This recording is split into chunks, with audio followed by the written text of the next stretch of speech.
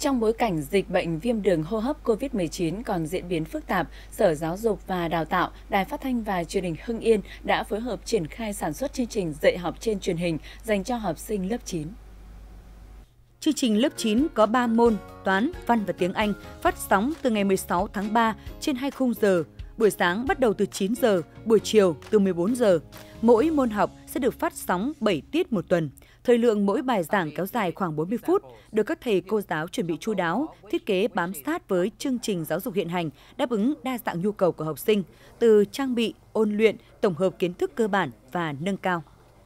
Căn cứ vào cái ờ, nội dung bài giảng thì người thầy sẽ thiết kế bài giảng chủ yếu là cái phương pháp thuyết trình để làm sao đảm bảo được cái nội dung, những cái nội dung kiến thức à, cơ bản nhất cho các em ôn tập và cũng qua cái bài giảng này thì à, các thầy cô có thể à, có những cái phần hoạt động mà tìm tòi mở rộng thêm để giúp các em khắc sâu cái kiến thức. Bước đầu thì áp dụng cho ờ, chương trình ờ, của học sinh lớp 9 phục vụ cho việc xét tốt nghiệp và thi tuyển sinh vào lớp 10 và rút kinh nghiệm từ cái việc tổ chức cho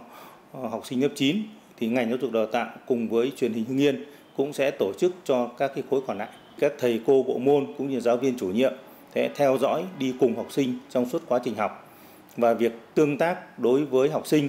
là qua một số cái hệ thống trực tuyến ờ, giữa thầy và trò, tức là giữa giáo viên chủ nhiệm và giáo viên bộ môn trong cái buổi dạy ngày hôm đó. Để chương trình đạt được hiệu quả cao, Sở Giáo dục và Đào tạo phối hợp với Đài Phát thanh và Truyền hình Hưng Yên chủ động xây dựng kế hoạch ghi hình, phát sóng, đảm bảo chất lượng hình ảnh và âm thanh phục vụ bài giảng. Học sinh có thể theo dõi trực tiếp trên kênh truyền hình hoặc xem lại trên các hạ tầng khác của đài như kênh YouTube, website hưng yên tv.vn và fanpage tin tức Hưng Yên 24 trên 7 HITV. Đây cũng là những kênh tiếp nhận các ý kiến phản hồi của học sinh, giáo viên để hoàn thiện cả về hình thức, phương pháp và nội dung bài giảng. Chúng tôi đã chỉ đạo ờ, một kíp sản xuất chương trình ờ, về trang thiết bị máy móc, về nhân lực và lực con người để phối hợp tích cực với Sở Giáo dục Đào tạo để hoàn thành chương trình. Chúng tôi nhận thấy là cái việc mà dạy học trên truyền hình thì uh, qua TV nó sẽ phổ thông và phổ cập hơn, dễ dàng hơn đối với các cháu. Uh, không phải hộ gia đình nào thì cũng có mạng internet để mà học trực tuyến nhưng mà TV thì hầu hết các gia đình đều có. Chúng tôi cũng rất mong là cái